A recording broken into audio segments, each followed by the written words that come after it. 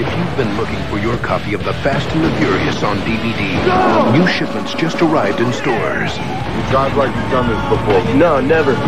Don't miss out on The Fast and the Furious, the year's number one DVD. Buy it today while you can.